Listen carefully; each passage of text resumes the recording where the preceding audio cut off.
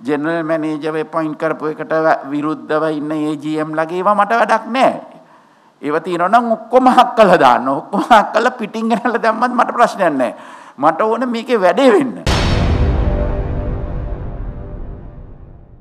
හැම මීට්න එකක් තිබ්බම plantation sector එක ගෙනාවත් බස් කට්ටිය ගෙනාවත් හැමෝම කියන්නේ කිසිම සහයෝගයක් නැහැ බැංකුවලින් කියලා. බැංක් ඔෆ් සිලෝන් එක තමයි මූලිකවම අපි කියලා තියෙන පොලිසිස් අපිටත් ඉස්සෙල්ලා ක්‍රියාත්මක කරන්න ඕන බැංකුව. දැන් මතක තියාගන්න ඕන මම දන්නවනේ මේ බැංකුවල මම කාටවත් කියන්නේ මගේ කැචර්ලට ලෝන්ස් දෙන්න.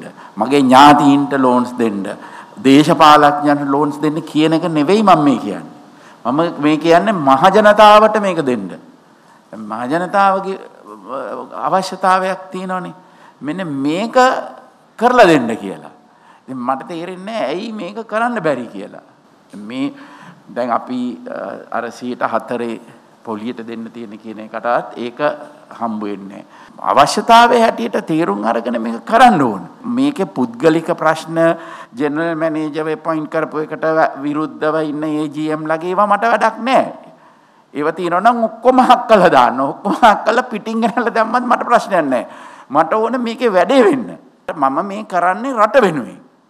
මහජනතාව වෙනුවෙන් මගේ ඥාතීන්ට සල්ලි දෙන්න කියලා නෙවෙයි. මම කියලා තියෙනවද ඔයාට කවදාවත්?